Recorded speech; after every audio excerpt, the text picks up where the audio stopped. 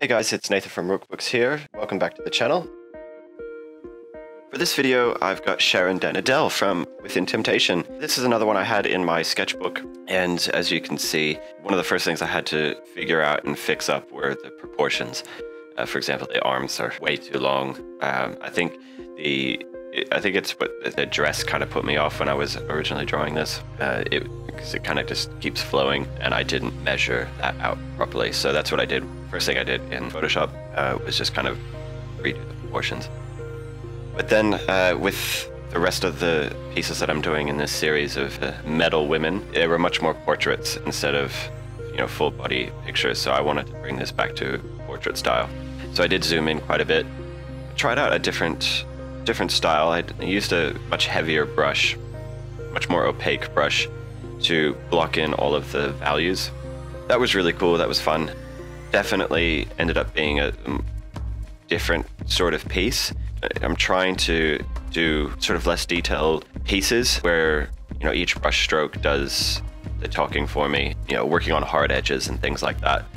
I'm much more inclined to go for sort of a softer edge, and I'm trying to challenge myself to, to give myself some, some more hard edges and more sort of confident lines and that sort of stuff.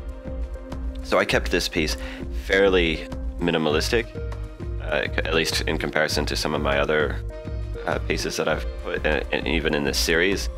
Um, I wanted to really capture the feel rather than uh, the exact likeness within temptation is always sort of magic, ethereal, dark, uh, mystical sort of feel. So that's what I was going for.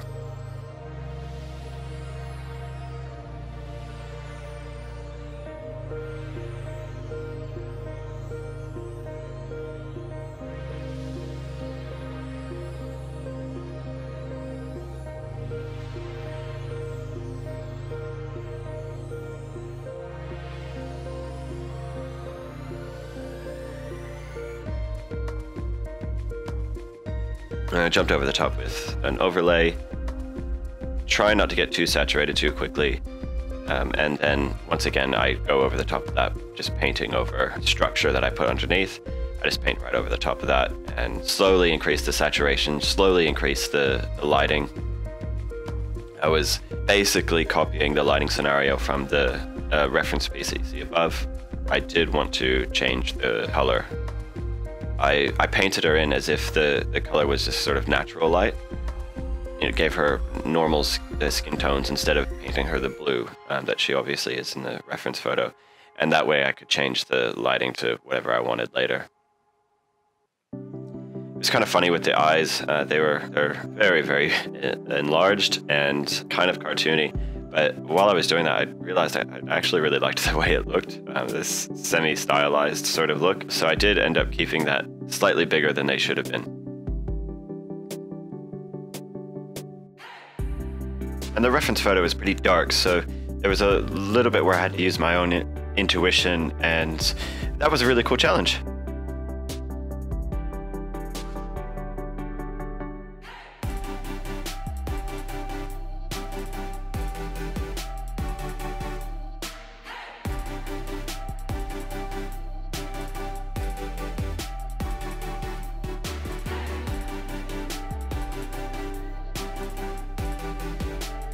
Again, going into the, the dress, I wasn't, I was really trying to restrict myself in terms of the detail. Uh, like she's got a buckle on um, one of the straps there. And I really had to fight myself trying to go into a crazy amount of detail and actually drawing in a, a real buckle.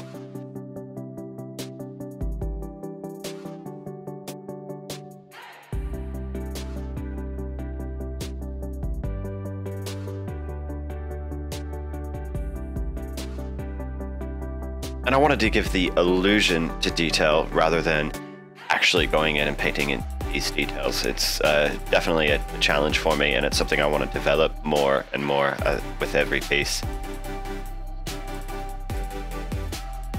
I liked the lighting scenario. I even liked, uh, especially liked the radial light behind her, um, but I did want to put my own spin on it, so I ended up changing the color. And I went with red. It was the opposite. So uh, I wanted to see how that would look, and I really liked the end result.